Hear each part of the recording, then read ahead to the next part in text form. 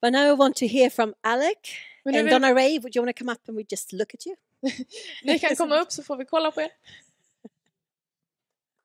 This is Alec and Donna Ray Cartwright. Där är Alex. We are so thankful that you came and joined us this weekend. Vi är så tacksamma att ni kom med oss den här helgen. Uh, you've been in YWAM for a long time. Ni har varit med i YWAM jättelänge. Donna Ray, you grew up in a YWAM family Reed, du växte upp i en YWAM-familj in Zimbabwe, i Zimbabwe. and now you live in North Ireland. Och nu bor du på Nordirland. And they're very involved in the University of the Nations. Och nu är väldigt involverade i, i University of the Nations. So Donna Ray, she takes care of the academic side of it. Så hon tar hand om den akademiska sidan. And uh, go to her and talk about getting a degree within the U of N. Så gå och prata med henne om du vill så gå en kurs. So and she can she can uh, share that with you. Hon kan berätta om Right. det. yeah. And Alec, he works with the College of Communication. Och Alec jobbar med College of Communication. He's the leader. He's the dean of that college. Han är liksom ledare för det college. And uh, we are excited to hear you share with us. Vi är så taggade på att höra dig dela. Uh, the subject you gave us is a bit vague, Och ämnet du gav oss var lite vagt. which I'm sure was on purpose. Men det var säkert med flit. so we are really uh, curious as to what's going to happen. Så vi är väldigt nyfikna. So we just want to pray together, and then Mm. we'll let Alex share with us. Vi ber tillsammans, sen låter vi han dela. Okay. Thank you, Father, for being our teacher and our guide. Thank you, Lord, that you are the one who speaks to our hearts. So we want to open our hearts to you now. We want to thank you for sending your messengers to us. Thank you, Lord, for sharing the world with us, and we are, one, are willing to receive. In Jesus' name, Amen.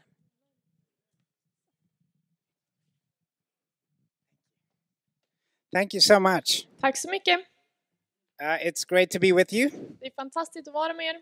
I was praying about what to share, and I thought that I should share about intercession tonight. Så jag bad om vad jag skulle dela och jag, jag fick att jag skulle dela om förbön. So I'm the dean for the College of Communication, and I love everything to do with communication. Så jag är liksom ledare för det här College of Commu- Communication, så jag älskar kommunikation. So we're gonna, we're to talk about some themes around communication in the next few days. Så under de nästkommande dagarna ska vi tala om några tema, tem, teman runt om kommunikation. And maybe some of it will be a little surprising, Och några av dem kanske blir lite överraskande. but stick with me. We're going to have some fun. Men håll ut, det kommer bli kul. This is my first time in Sweden. Det här blir min första gång jag är i Sverige. And uh, if you know anything about me, you know that I love first time anything. Om ni känner mig så vet ni att jag älskar när det är första gången med saker. My wife leads me in many things. She was here in 93, Men min fru är före i många saker. Hon var här 1993. so she did her DTS here in Sweden. Hon gjorde sin DTS här i Sverige. In in Restiness, I yes. Västernäs. And uh, it's just wonderful to have her join me for the weekend. The kids wanted to come too, but they have school. So, Så det är fantastiskt att min fru är med mig och barnen ville komma också men de har skola. So I was thinking today about another first time that I experienced, Så jag tänkte idag på en annan liksom, första gång som jag har erfarat. and it was on my DTS outreach. I went to a place called Madagascar. Så på min DTS outreach åkte jag till Madagaskar. I told my kids, and they thought I went to an animated TV show Och när jag berättade för mina barn så trodde de att jag åkte till en animerad liksom, tv-serie with King Julian and all the lemurs, and med kung Julian och alla de där. uh, um, that I went to the real country, Madagascar. Men jag åkte till riktiga landet, Madagaskar. And I remember we arrived on the first night, and a friend and friend of mine and, and I decided we'd take a walk around the block. Så när vi kom liksom första kvällen så bestämde jag och en kompis oss för att gå och ta en promenad. And the first thing we discovered is there are no blocks. Och det första vi liksom insåg att det finns inga kvarter. There are no streets, there's no names, everything looks the same. Det finns liksom inga vägar eller namn utan allt ser likadant ut. And then it started to get dark. Och det började bli mörkt. And we realized very quickly we had a problem now Vi insåg snabbt att vi hade ett problem. because James and I did not speak very much French, and they speak French there. För jag och James vi pratar inte så mycket franska och de talar franska där. And we realized we were lost and we didn't know where the base was because every building looks the same.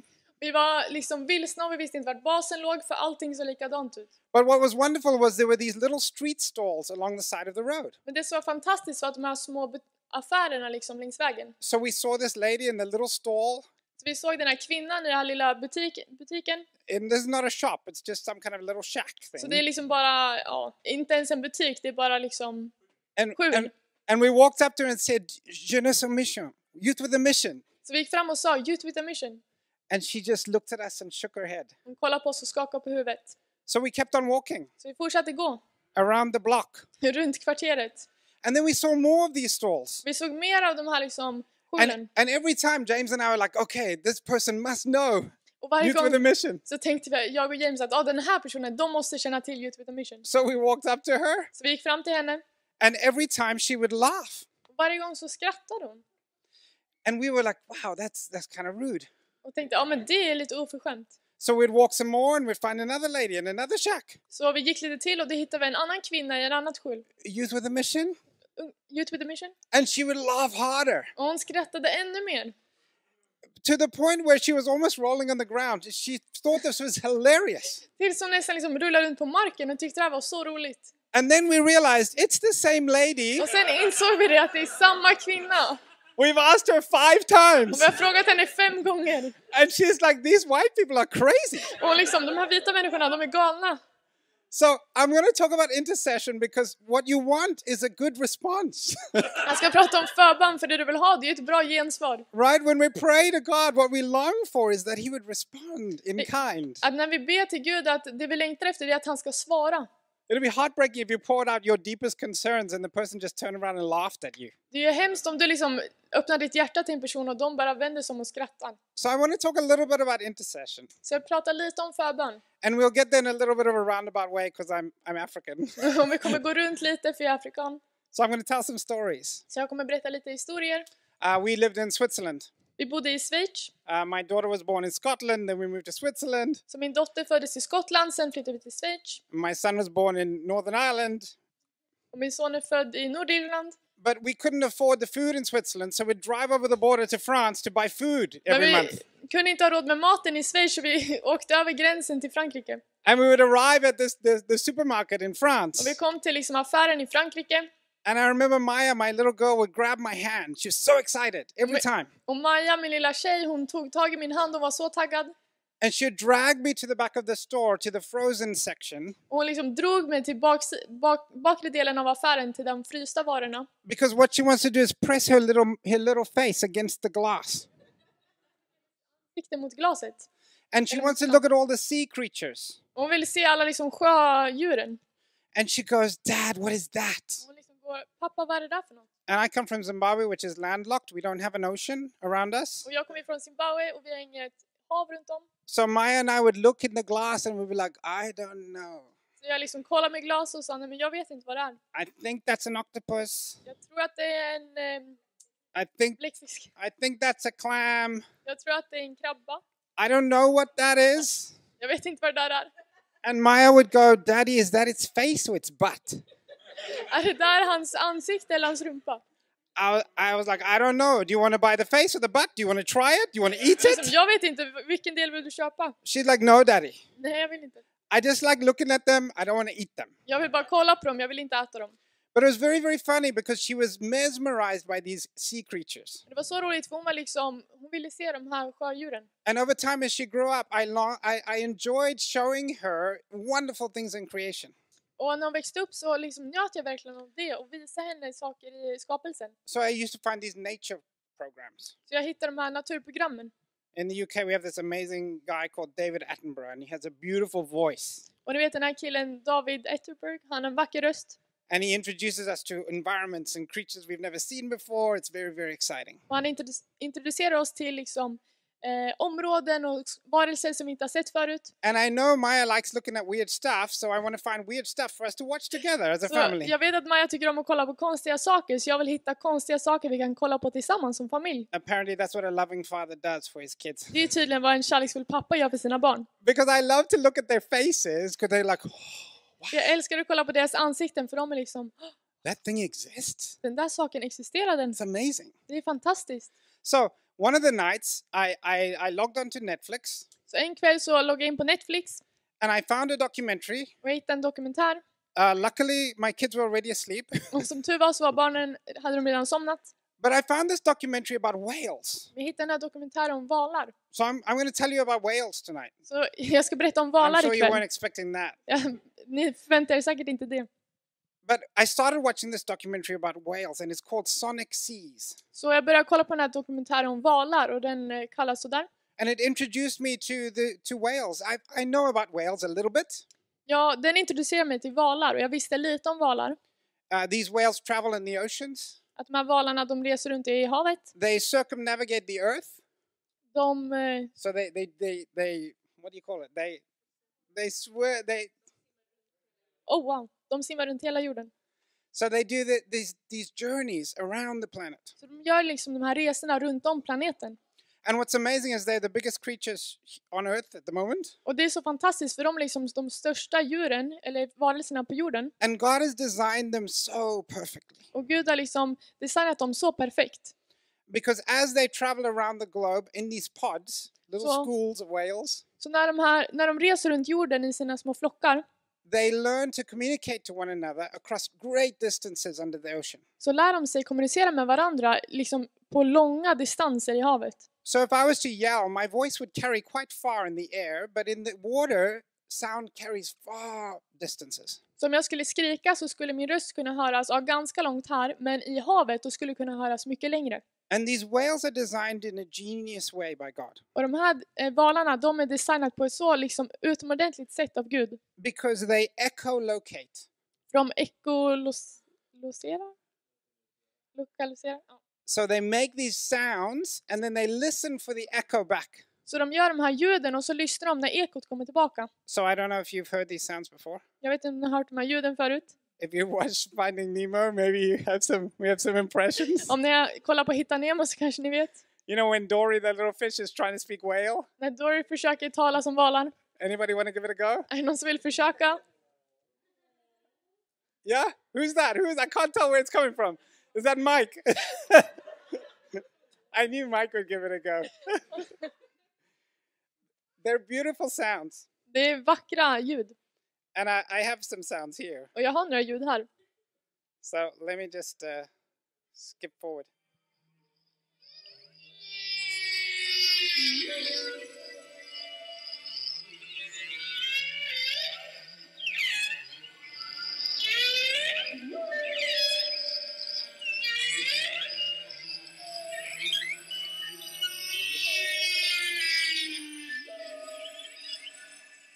Okay, translation.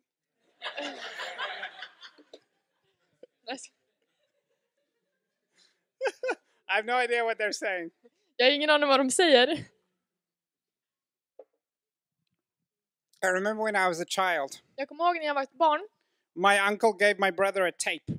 och min farbror sa, gav eh, min eh, bror en eh, tejp. If you don't know what tapes are, then you're not old enough. Ett band. Ah. Han gav mig ett kassettband. it's like cassette tape. Before CDs, we had cassette tapes. Innan CD då hade vi kassettband. And I remember, I remember my my my brother received this tape from my uncle, and he put it in the tape player, and he pressed pressed play, and those kind of sounds came out. Jag kommer ihåg att min bror fick den här från farbrorn och han satte det liksom i, i spelaren och tryckte på play och då kom de här ljuden. And I was like, wow, that's weird, man. These things are like alien creatures. Och jag tänkte det här är så konstigt, de är som liksom alien. And I've since watched these crazy programs with my kids about deep underwater, these deep sea life. Men nu när jag kollar på de här dokumentärerna med mina barn om så här varelser som lever så djupt i havet. Uh, there's a fish called a vampire fish that has that dangles a little light in front of it himself, Så det finns en fisk som kallas vampyrfisk som har liksom ett ljus som hänger framför.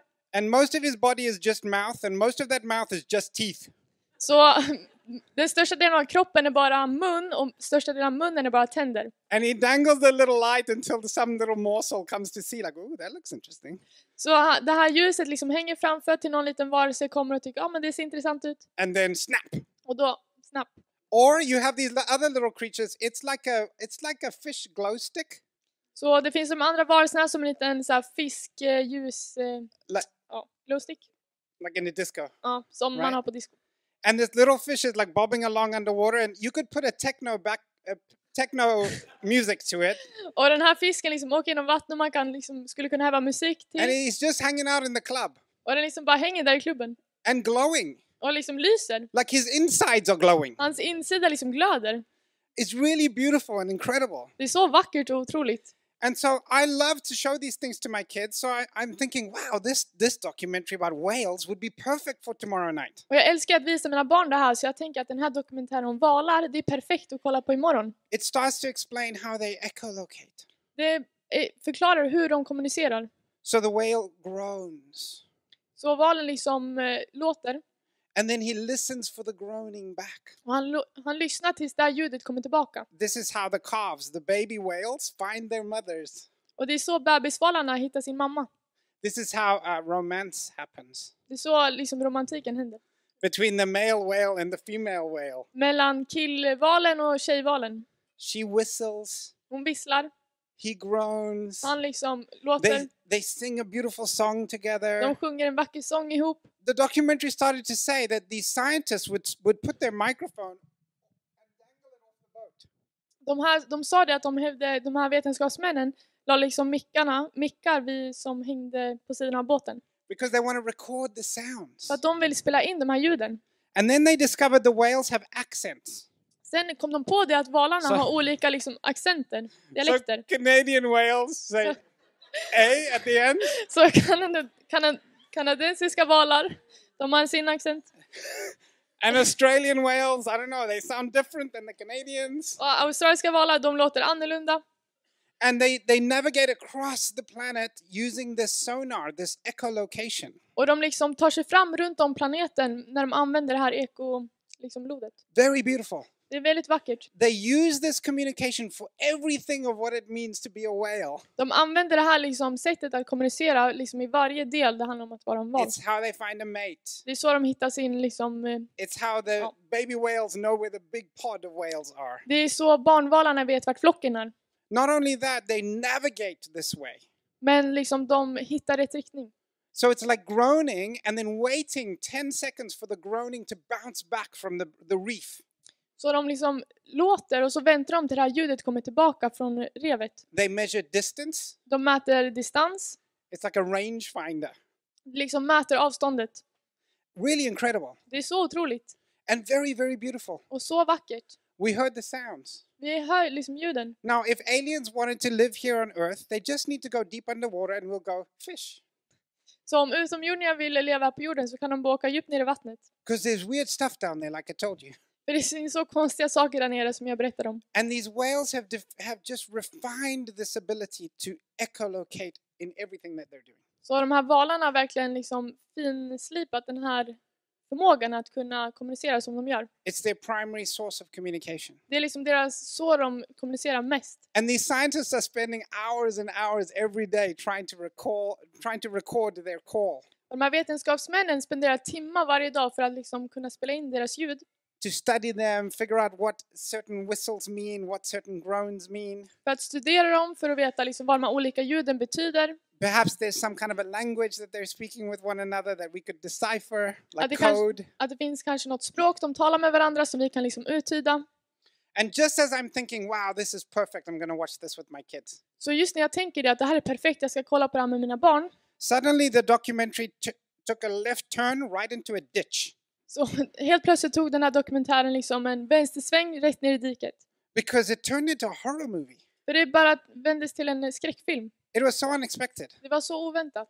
And I was so glad that I didn't start the documentary with my kids in the room Och jag är så glad att jag inte började dokumentären med mina barn i rummet. because it got scary real quick. För att det blev eh, läskigt väldigt snabbt. And I would have to go, and that's the end. Och jag hade behövt göra, det här är slutet, tada! Because what started to happen is these whales started to beach themselves.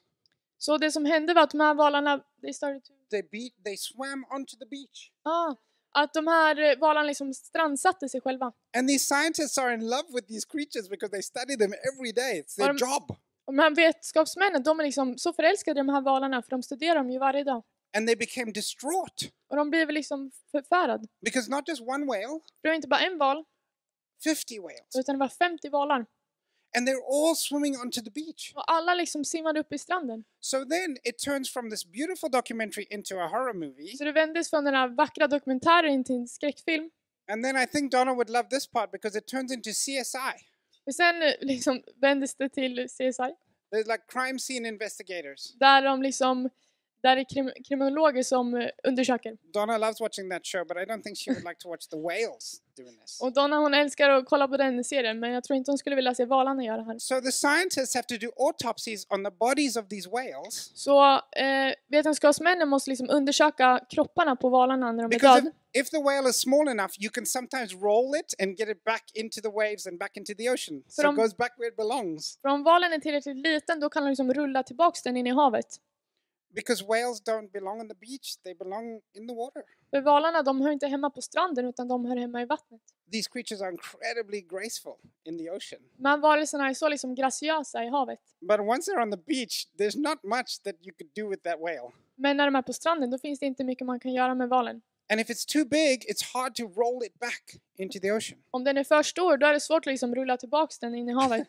I heard about one situation somewhere in the States Jag hörde om en situation i någonstans i USA. where a big whale had beached itself and they didn't know what to do with the carcass. Så eh, när en stor val hade liksom strandsatt sig och de visste inte vad de skulle göra av liksom kvarlevorna. So someone had a bright idea let's get dynamite. Så någon hade en bra idé. Vi ska hämta dynamit. Seems clever, right? Just put the dynamite in the mouth, light it, run. Det verkar smart, eller hur? Man sätter bara dynamiten i munnen, tända och spring. And it'll take care of itself. Och det liksom tar hand om sig själv. It didn't work. Det fungerade inte. It just rained whale, Det bara regnade val. like blubber everywhere. Och, ja, överallt. So don't do that. Gör inte det. Thankfully, this didn't happen in the documentary that I'm watching.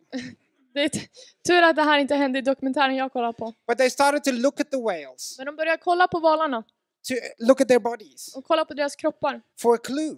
För en- någon ledtråd. What's happening? Vad är det som händer? Why are these beautiful creatures we're studying killing themselves? Varför de här underbara varelserna som vi liksom studerar, varför dödar de sig själva? And then they looked at their little eardrums. They don't Oh. have ears, they just have a little hole. De kollade på le- deras trumhinna. De har liksom inget öron utan, öron, but- utan bara ett litet hål. And on some of the whales, they could see blood coming out. Och på några av valarna kunde de se lite blod som kom. So it was as if their eardrum blew. Det var som om deras trumhinna sprängdes. And so they, they're, they're astonished. Så de är liksom helt förundrade. And they think to themselves, what could have caused this? Och de tänker, vad är det som kunde ha orsakat det här? Whale after whale after whale. Val efter themselves. val efter val strandsatte sig själv. And then they saw on the horizon these big navy ships. Sen såg de på horisonten de här stora skeppen. So whales have a beautiful biological sonar. Så valarna har liksom en underbart vackert biologiskt eh, so, so, sonar. Echolocation. Oh. The sound. Oh. It's so beautiful. We heard it. Det är så vackert, vi hörde ju det. And then we've copied them Och vi har liksom kopierat dem in order to do depth charges and understand what's in the ocean from ships all over the world. We've created a sonar as well. Vi har liksom skapat det här också för att kunna förstå djupet och kunna undersöka havet. But our sonar is not beautiful. Men vårt sonar, det är inte vackert. Our sonar is like when what you do with humans is you, you get a chalkboard and you scratch your nails on the chalkboard like Så det är liksom när vi människor, när vi har liksom en eh, tavla och så bara skrapar vi naglarna mot den där tavlan. it doesn't matter what who you are, that's a horrible sound. Det spelar ingen roll vem du är, det är liksom ett förfärligt ljud. So this noise is coming down and it's digital sonar. It's horrible dissonant sound. Så det här ljudet kommer ner, det här liksom förskräckliga ljudet från det här digitala sonar. And the whales are trying to echolocate, right? Och valarna de försöker liksom ekologisera. So they make this beautiful groaning sound and then they listen. Så de gör sitt ljud och sen lyssnar de. This is how they find plankton. Det är så de hittar plankton. this is how they know where the ocean is and where this, the, the beach is, where the rocks are, Det är så de vet vart havet är och vart liksom stranden och stenarna är. where the reef is. Vart eh, korallrevet är. But what's happening is they groan Men vad som händer är att de liksom gör sitt ljud and all they hear from the surface is digital noise. och allt de hör från ytan är liksom digitalt ljud. And they don't know what to do. Och de vet inte vad de ska göra. The only thing that comes naturally to them is to swim as fast as they can away from that sound. Det som kommer naturligt för dem är att så snabbt som möjligt bara simma långt bort från det ljudet. So if the Navy ships are behind them, they can swim deeper into the ocean. If they're in front of them, they swim immediately back Så om de här skeppen är liksom bakom dem, då simmar de längre ut i havet. Men om de är framför dem, då simmar de in i stranden. So by this point in the documentary, uh, I'm invested. Så när jag kommer så här långt i dokumentären så är jag väldigt liksom investerad. So glad my kids aren't there Jag är så glad att mina barn inte var där. this will be hard to explain. Det här är svårt att förklara. And they won't want to go to sleep after watching Och that. de vill liksom inte gå och sova efter de har sett det. Thanks, Dad. Whale horror movie. Tack pappa, en skräckfilm om valar. But at the same time, I'm going, wow, what, what can be done? Men samtidigt så tänker jag, men vad kan, vad kan vi göra? Because it's heartbreaking. För det är verkligen hjärtekrossande. Imagine how God feels when He creates these amazing creatures and they go extinct. Tänk vad Gud känner när han skapar de här underbara varelserna och så blir de utdöda. So suddenly the movie changed again. I thought I was watching one movie and now I'm watching two, three, four different movies all So in one. Filmen liksom ändras igen och jag trodde jag kollade på en film men nu ser jag liksom en, två, tre, fyra filmer allt i ett. And they start talking about how we need to calm the seas. We need to create quieter sound Och sen for börjar de, ocean life. börjar de prata om det, hur vi kan skapa ett lugnare hav, hur vi kan tysta ner ljuden. But because not only does this dissonant sound come from the surface, but from the engine propellers and noise all across the ocean. Så det här ljudet kommer inte bara liksom från ytan utan det kommer också från propellern och motorerna. And it's because of us. Och det är på grund av oss. Human beings are making this horrible sound Våra, vi människor, vi gör det här hemska ljudet that makes whales just go and swim as fast as they can away. som liksom får valarna att vilja simma så långt och så snabbt de kan bort. So I'm watching the end of the documentary Så jag kollar slutet på dokumentären, and I finish the documentary jag kollar klart and I go, oh my goodness, what a ride. Wow. och jag liksom åh, tänker, åh vilken resa. I'm ready to sleep now Jag är redo att sova nu. Because that was kind of exhausting. För det där var utmattande. You know, when you expect something to be one thing and it turns out being something very different multiple times? Ni vet men när man förväntar sig att någon sak är på ett vis och sen är något annat och det ändras flera gånger. And it seems to get darker and darker and darker. Och det verkar bara bli mörkare och mörkare och mörkare. And then I heard God say to me, Och så hörde jag Gud säga det. I groan too. Att jag också gör mina läten. See, I've been watching this documentary Jag har kollat på den här dokumentären and I thought it was about beautiful whales och jag tänkte att det var, handlar om underbara valar. because whales echolocate. För att eh, valarna gör det här. It's, it's one of the things they do best. Det är en av sakerna de gör bäst. And then I realized God echolocates too. Och så insåg jag det att Gud gör det också. And not only that, humans echolocate. Och inte bara det, utan vi människor också. When I see that lady in that little shack, I'm hoping she's to tell me that she knows where Youth with a Mission is. När jag ser den där kvinnan i liksom skjulet, då hoppas jag att hon ska berätta vart Youth with a Mission är. And when she laughs harder and harder every time I ask, när hon skrattar liksom mer och mer varje gång jag frågar, I know I'm not communicating. så vet jag att jag inte kommunicerar.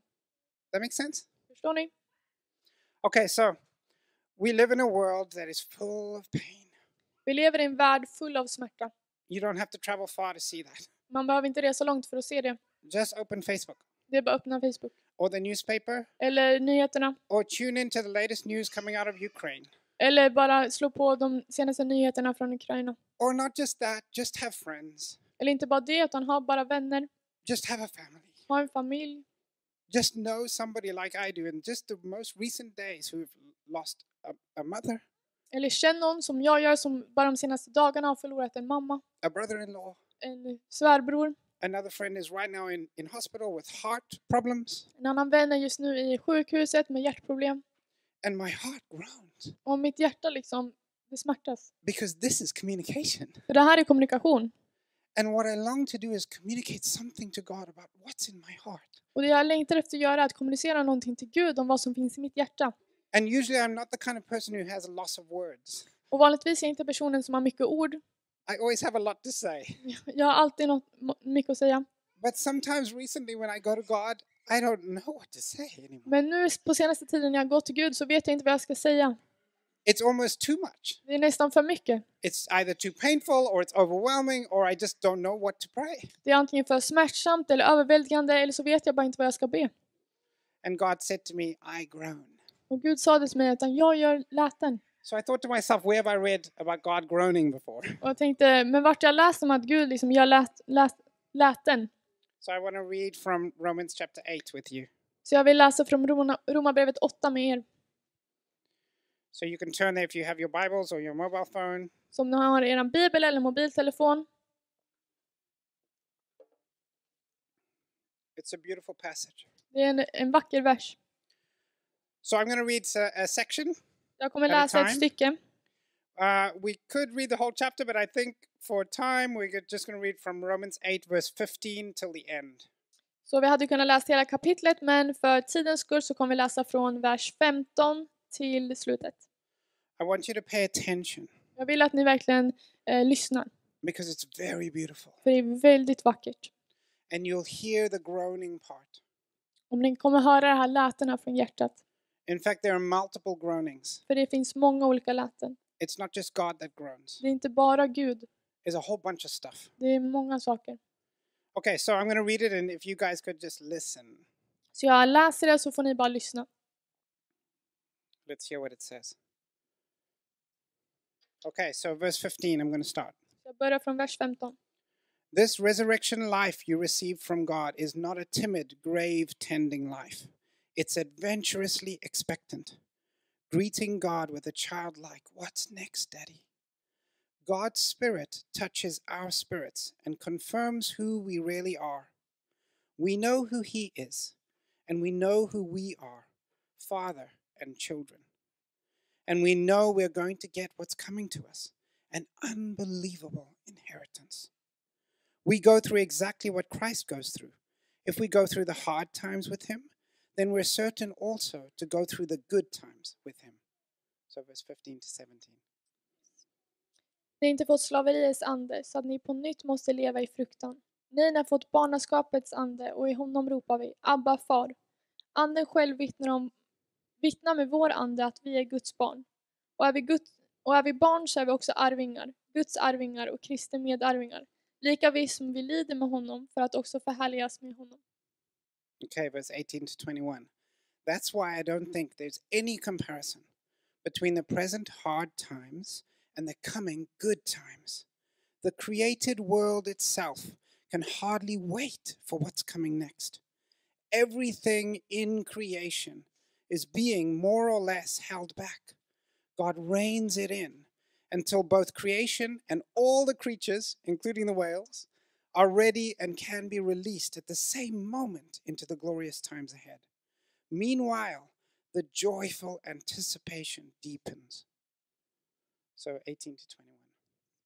Jag anser att de lidanden vi får gå igenom här på jorden inte betyder någonting jämfört med den härlighet som Gud en dag ska ge oss.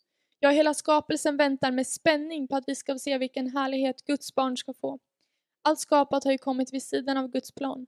Inte för att de själva ville det, utan därför att Gud dömde skapelsen till att dö. Men han gav oss ett hopp om att skapelsen en dag ska befrias från sitt kretslopp av ständigt nedbrytande. Ja, en dag ska allt skapat få en del av det härliga frihet som Guds barn får njuta av. Vers 22 All around us we observe a pregnant creation.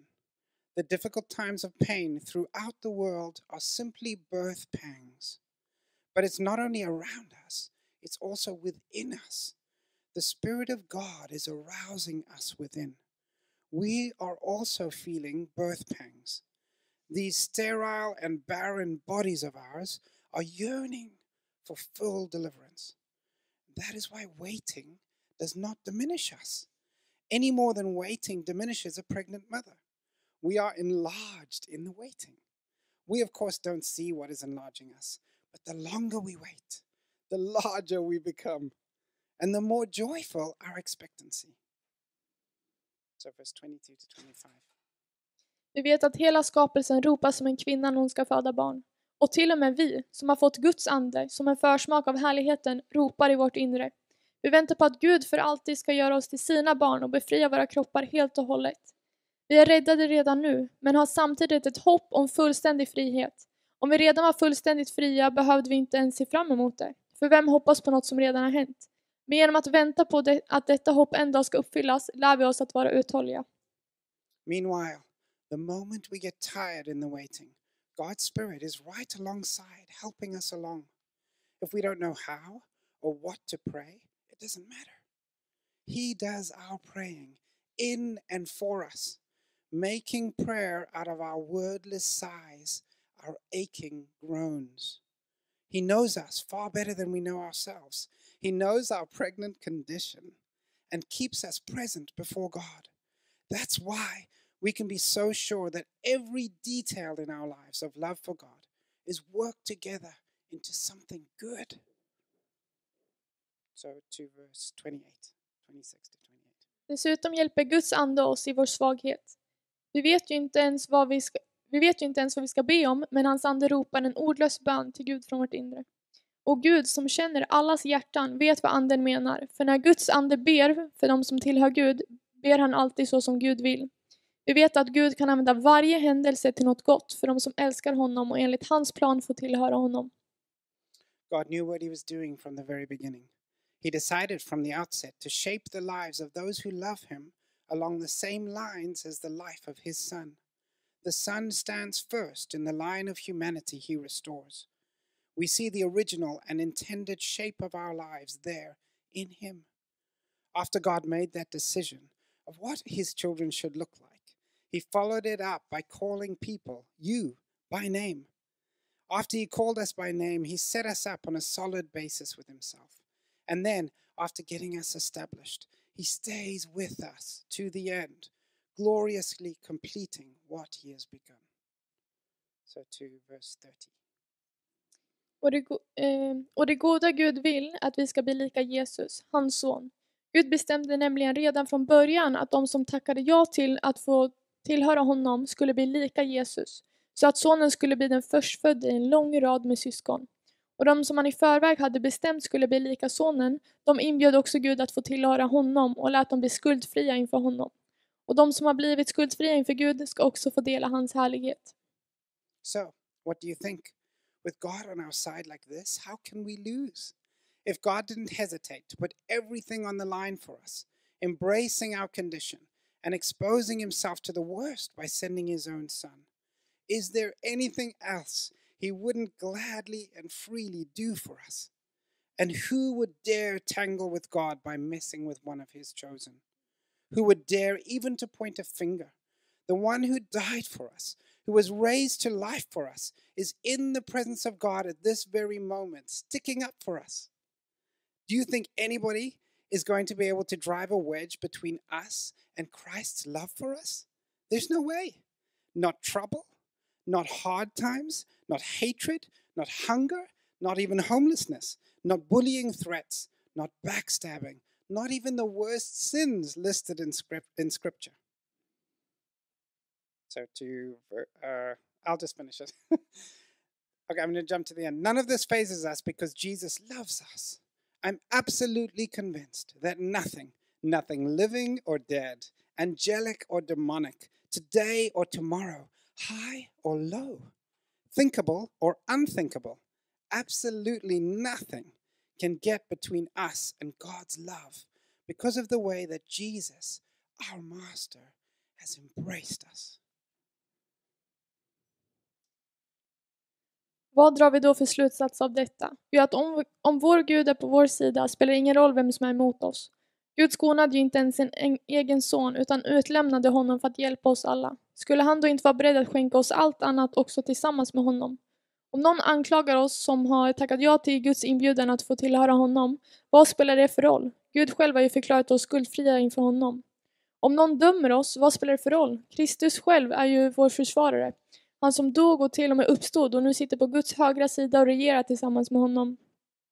Skulle något kunna hindra oss från att ta emot Kristi kärlek? Nej, inget. Det spelar ingen roll om vi upplever nöd eller ångest, om vi blir förföljda, får svälta, saknar kläder eller råkar ut för faror och dödshot. Allt att detta ska ske vet vi redan, för det står i skriften. Och sen hoppar vi till slutet. Det spelar ingen roll om vi lever eller död. Jag är helt övertygad om att inget kan skilja oss från den kärlek Gud visade oss genom Kristus Jesus vår Herre. Inga änglar eller demoner, inget som finns nu eller, eller kommer att finnas i framtiden, inga krafter i himlen eller i djupet eller något annat i skapelsen kan hindra hans kärlek från att nå oss. So, this is true communication. Så det här är sann kommunikation. This is true intercession Det här är sann förbedjan. because it speaks about a number of different groanings. För det talar om massa olika liksom, läten. It says creation itself is groaning. Det står liksom att skapelsen själv liksom, liksom gör läten. The, cre- the creatures are groaning for redemption. Att alla varelser, de liksom su- suckar efter återupprättelse. It's almost as if God is holding them back and then will release them into the new creation. Det är som That's att Gud liksom about. håller dem tillbaka för att liksom släppa dem in i den nya skapelsen. Do you hear creation groaning? Hör ni att skapelsen suckar? I do. Jag gör. Do you hear human beings groaning? It Ja. speaks of that too. Hör ni människor som suckar? Det talar om det också. Our world groans. Vår värld liksom suckar. Our friends groan. Våra vänner de liksom Our suckar. family members groan. Våra familjemedlemmar suckar. Sometimes they don't even know what they're saying, but they're definitely groaning. Ibland liksom vet de inte ens vad de säger men definitivt så liksom suckar de. I can hear it. Jag kan höra det. Then it says the church is groaning. Sen står det att kyrkan suckar. Do you hear that too? Hör ni det också? I do. Jag gör det. What's wonderful is we don't just groan in isolation. Men det som är fantastiskt är att vi inte liksom bara suckar isolerade. We're not standing there begging that God would hear us. Vi står inte där och ber Gud att han ska höra oss. Because it goes on to say that even when we don't know what to say, För det står det även när vi inte vet vad vi ska säga. The Holy Spirit that indwells us groans with us. Så helig ande som bor i oss, han liksom suckar med oss. Because the groaning isn't out there, the groaning is inside of us. För liksom de här lätena är inte där ute utan det är inom oss. And He groans with us. Och han liksom suckar med oss. That is echolocation to eternity. Det är liksom den här eko, ekolariseringen till evigheten. Father, Son, Holy Spirit groaning. Fader, Sonen och helig ande som suckar. Creation, human beings, the church groaning. Skapelsen, varelserna och människorna som suckar. And together it's like this beautiful, harmonious orchestra of groaning. Och tillsammans är den här underbara orkestern av liksom de här lätena. Because we're all singing the same song, För att vi alla sjunger samma sång. including the world out there that doesn't know God are groaning. Även den här världen där ute som inte känner Gud, de suckar. This is intercession. Det är förbön. This is communication. Det här är kommunikation. People don't know they're interceding because they don't even know God, De vet inte ens att de förebedjer för de känner inte ens Gud. but they have a longing. Men de har den här längtan. Does that make sense? Förstår ni? And as Christians, we can discern what that groaning is and groan right alongside them. Så som kristna så kan vi liksom urskilja vad det där suckande är och så kan vi liksom göra det med dem. If we're willing, Om vi är villiga. If we recognize God's groaning and their groaning, Om vi liksom ser Guds eh, liksom, läten i deras läten. then we can stand alongside them and groan together. Då kan vi liksom stå bredvid dem och sucka tillsammans. What is better than laughing till your belly hurts with your dearest friends Vad är, det, vad är bättre att liksom skratta så din mage gör ont med din närmaste kompis? or weeping with one another when your heart is broken? Eller liksom gråta med varandra när ditt hjärta är förkrossat? This is about being fully human, Det handlar om att vara fullt mänsklig. embracing our brokenness Att liksom eh, inse att vi är helt liksom brustna. and trusting God He's not done with us. Redemption is coming. Att lita på också att Gud inte är klara med oss utan att det kommer upprättelse. So where we see death, resurrection, life is also coming. Så när vi ser död så är liksom också återuppståndelse och liv som kommer. Where we see disease, healing is coming. När vi ser liksom sjukdomar så kommer helanden. Where we see demons, deliverance is coming. När vi ser demoner så kommer frihet. And we get to be a part of it. Och vi får vara en del av det. Why? Because we are midwives of this pregnant creation. Varför? Jo, för vi är um, barnmorskor för den här liksom skapelsen. So I was there when my kids were born. Så jag var där när mina barn föddes And I remember Donna squeezing my hand. och jag kommer ihåg att de kramade om min hand. Now she's giving birth to living human beings hon liksom föder levande varelser out of her body. från hennes kropp. And I'm just standing there while she crushes my fingers. Och jag står där medan hon krossar mina fingrar. And I can see the ends of my fingers going purple. Jag ser att mina fingrar de börjar bli lila.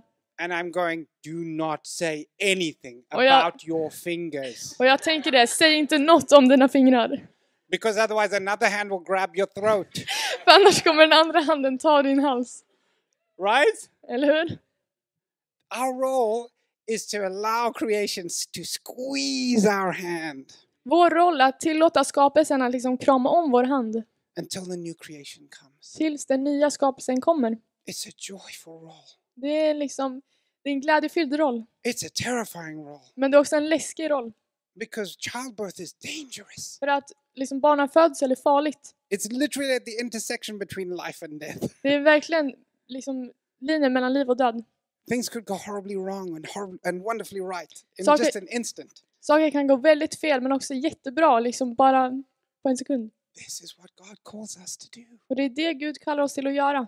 for ourselves, För oss själva, for our sister, for our brother, för våra bröder och systrar, for our church, för vår kyrka, for our hurting people on the streets, för de som är sårade ute på gatan, for our community, för vår gemenskap, for our city, för vår stad, for our nations, för, vår, för vårt land and our adopted nations. och våra adopterade länder. Because we're all missionaries here. Vi är alla missionärer här.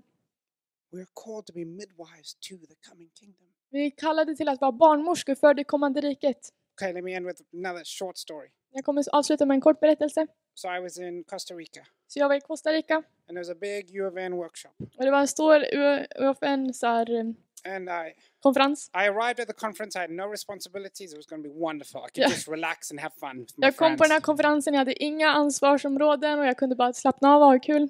But someone had a plan for my life, Men någon hade en plan för mitt liv, which is very normal in YWAM.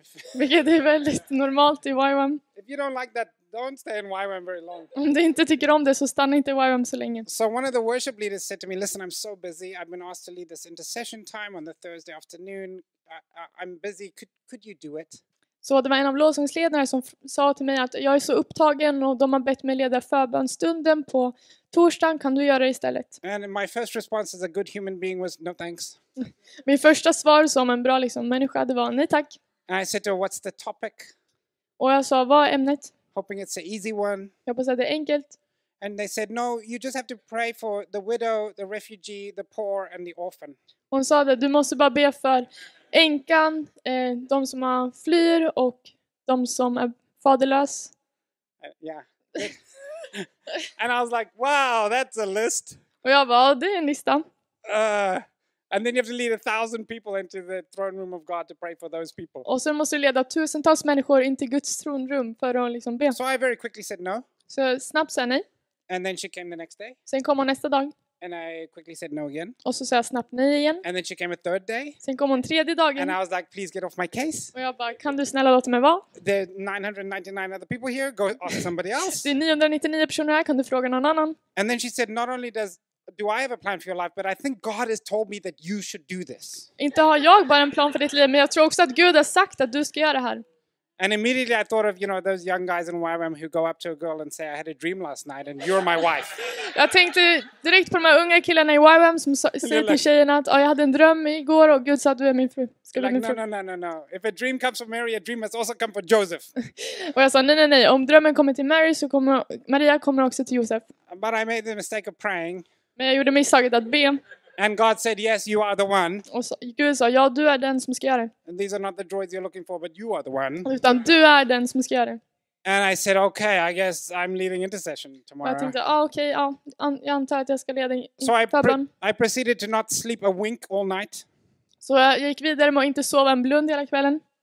And then uh, in the afternoon, I I was ready. På, på eftermiddagen så var jag redo.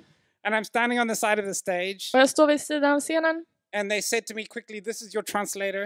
Och de sa snabbt, det här är din eh, översättare. Uh, he's going to translate you into Spanish. Han ska översätta dig till spanska. I didn't even get to greet him because they were already saying, Now we're going to do intercession and Alex is going to lead us. And so we walked on stage together, complete strangers. Så jag kunde inte ens hälsa på honom innan utan de bara välkomnades upp på scenen. And then uh, I started to just introduce the topic. Så jag började introducera ämnet. We're going to pray for the widow, the poor, the orphan, the refugee. Vi ska be, be för änkorna, eh, de som är föräldralösa, de fattiga och de som flyr.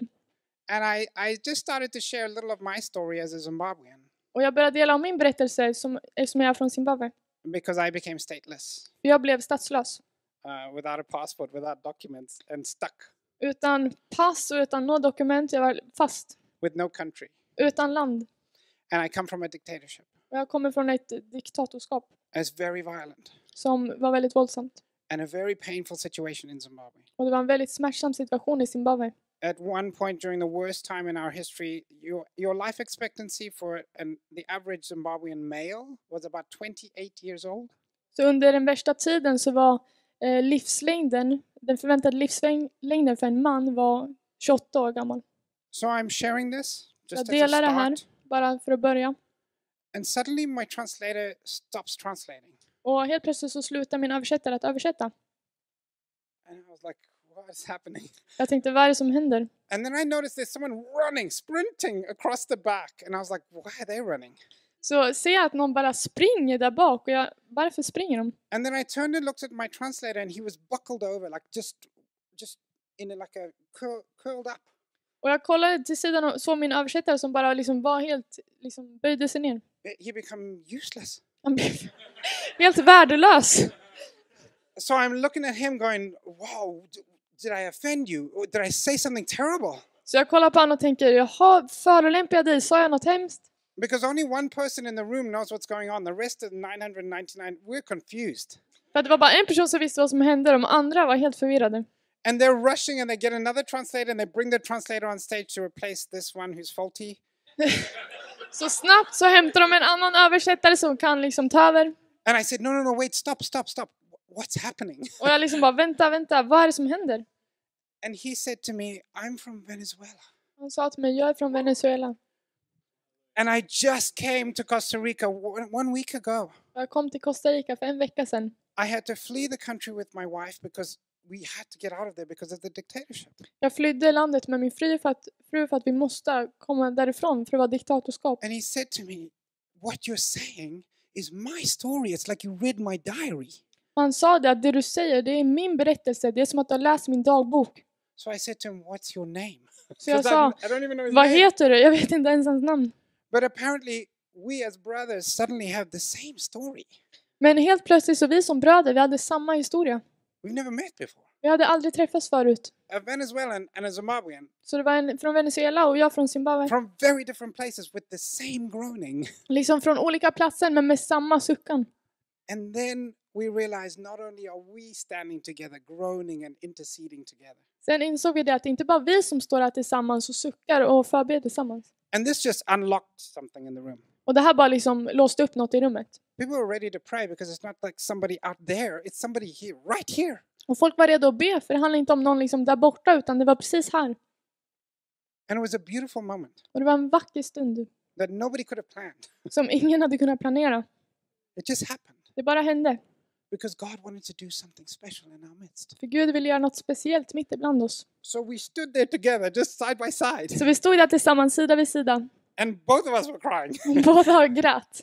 And then we realized Jesus Sen insåg vi Jesus is the same as us too, är samma som oss två.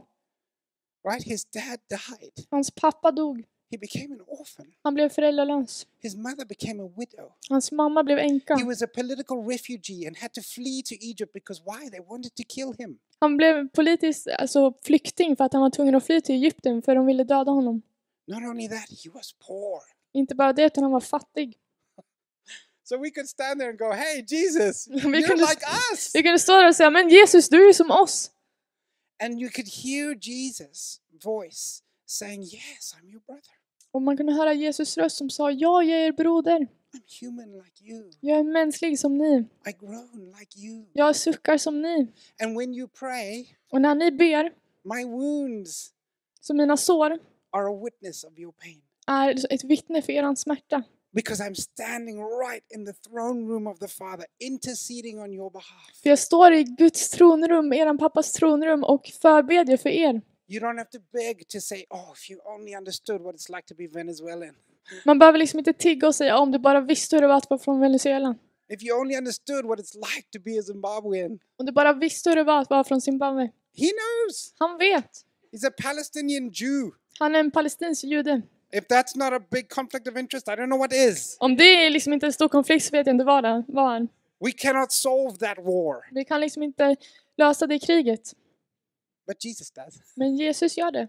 Because he holds both parts of himself together and reconciles all things to himself. För att han håller båda delar ihop liksom av sig själv.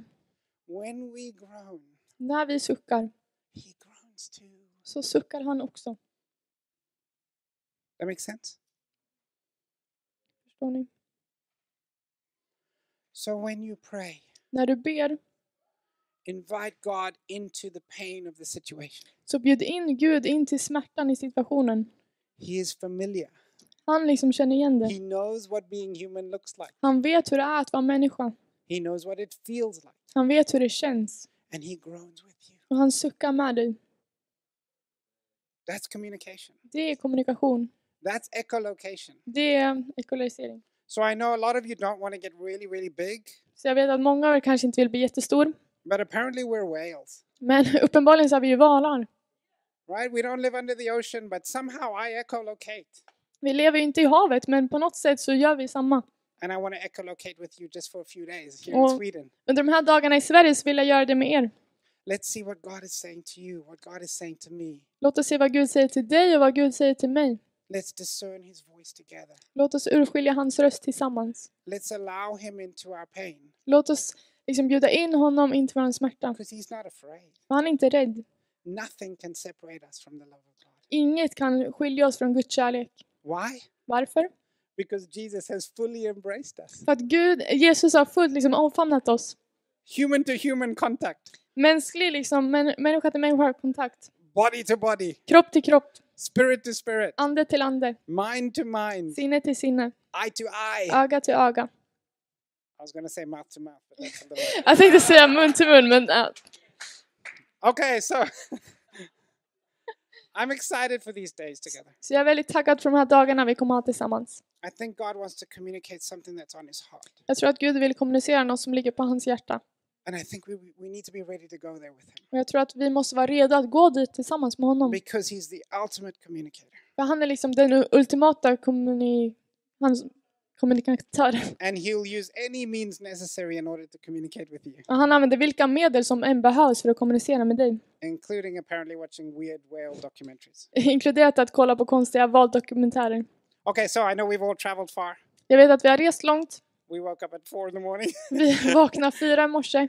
so let me just pray. Så låt mig bara be.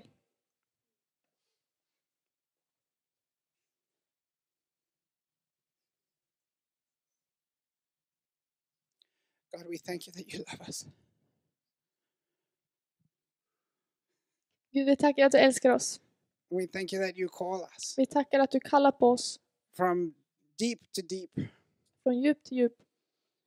And God, that you want great things for us. Att du vill stora och bra saker för oss. We thank you that you're unafraid to face death, Tack för att du är orädd att möta döden. to face homelessness, Att möta hemlöshet. to face the cross and pick it up and carry it. Att möta korset och ta upp det och bära det. And that you ask us to also pick up our cross. Och att du också ber oss att ta upp vårt kors. So, God, I just want to ask that you would groan with us in these few days that we have together. Och jag vill bara be att du verkligen suckar med oss de här dagarna vi har tillsammans. That we would groan with one another. Att vi får liksom sucka tillsammans med varandra. Whether it's the groaning of deep belly laughs because we're having so much fun together, Även om det är liksom lätena från att vi skrattar så mycket tillsammans. or if it's the groaning of just sobbing together, Eller lätena av att vi gråter tillsammans. longing for your presence, Vi längtar efter din närvaro. longing for your heart of compassion for our nation, Att längta efter ditt hjärta och medlidande för vår nation.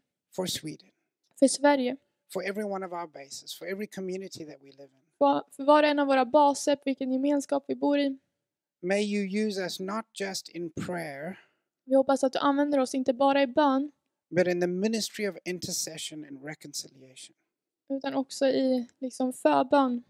so that we can groan right alongside the world, Så att vi kan eh, sucka tillsammans med världen. So that they can know that you groan with them. Så att de får veta att du också suckar med dem. In Jesus' name, I Jesu namn. amen. Amen.